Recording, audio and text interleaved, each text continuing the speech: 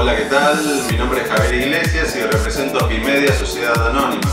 El motivo de este video es para ofrecerte nuestros totems digitales para la próxima expo. La verdad que es una propuesta novedosa, divertida, dinámica y espero que la aproveches.